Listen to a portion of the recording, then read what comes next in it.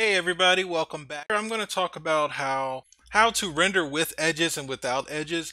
And this is something I had trouble with when I first got into Thea Render. Um, and it's part of getting familiar with the interface. Um, but I'll show you guys uh, what's what the issue is there and also how to adjust your resolution or your your aspect ratio for image sizing. Um, so I'll show you all that and um, so let's go ahead and get started.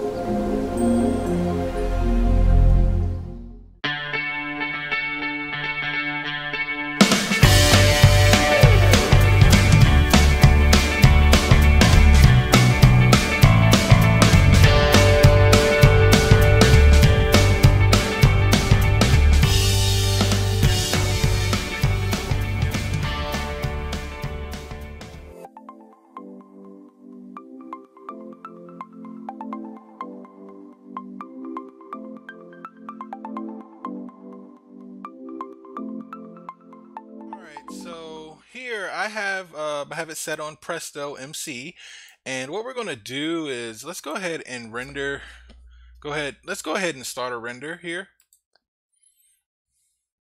Let's let that go and let me get rid of this settings panel. We don't really need that. Alright so we got a rendering going. Um you know we have our resolution our, our size here but sometimes so right next to this rendering in this rendering engine selection when you select your engines on the left side of it there's an interactive production rendering switch. And you want to make sure you have that on and we go ahead and stop the rendering. Because once you turn that on you can now select if you want to render with edges. So you can and you have the option of rendering in your Thea window, uh, in your SketchUp window without edges, um, and SketchUp with edges here. So we can go ahead and select that and hit the rendering and it should render over here in the SketchUp window. Alright, so we got it rendering here with edges. And uh, you can go ahead and toggle through this while it's rendering in Presto MC. So let's just render in SketchUp window.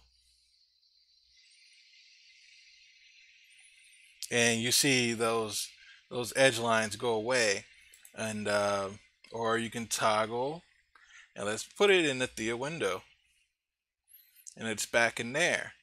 Um, another thing is so there you go there and another thing is if you're wanting to adjust the the image size let's just go ahead and in SketchUp window. Let's go ahead and do a render just let that load a little bit. Okay, we got it going there. Let's drop this down here. So we got the rendering going and you see the size there. You can go ahead and select Thea tool. Go ahead and click that there. You'll get your toolbox here or your tool panel here.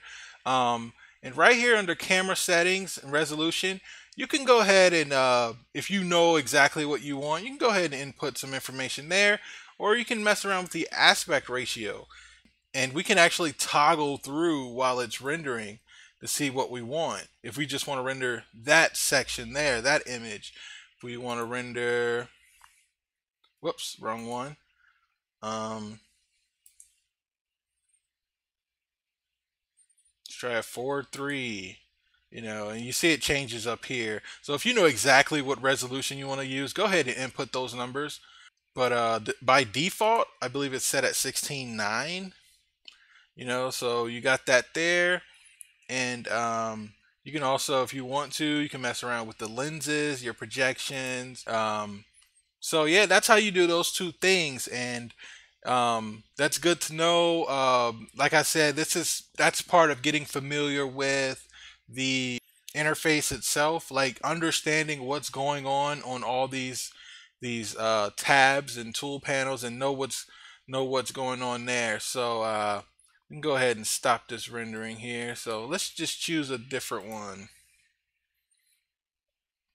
Let's just do one one. All right, so it's just going to render that section. And we'll go ahead and stop the render. And there you go. So and it gives you that that that size. So if you know exactly what you want as far as size, go ahead and input. You know, if you want a one to one, 1280 by 1280. Um, my renderings, I always do 16, 16 9. Um, nice size for me but uh whatever whatever your preference is you know um if you guys are in in, in um if you guys are in school or you're trying to do some layouts. I know you're going to use different layouts for different size sheets of paper. Um, i remember in, in college we would have to present in so many different ways. So uh it's up in the air. So that's how you change the sizes there and that's how you can do the rendering with the edges. Make sure you have this interactive production rendering switch turned on so then you can manipulate you know whether you want to do do it in uh, do a render in SketchUp window um, in SketchUp window with edges you know without it, it do it in in in, Thea, in the Thea window uh, rendering um, panel so there you go. Uh, I hope you enjoyed this video. I hope you found it informative. Um, and stay tuned for more videos. Thanks. Hey everybody. I'd like to direct you to a website, gates3designs.net. So if you're interested in downloading any of the models I created to create my renderings, you can come here and under SketchUp models, you can find a lot of the models that I use for my YouTube videos. If you notice when I start my models, it's in a blank canvas form and you can download that form, that, that blank canvas form here and take a stab at creating your own renderings. Whether it's Thea Render or uh, Lumion or whatever you want to use um, through SketchUp, you have models here that you could use if you'd like to. A lot of my models um, I create in Revit so I'm also uploading a lot of the Revit files that I use to create these models. So if you want to take a stab at learning Revit or using Revit, you can download those files here also.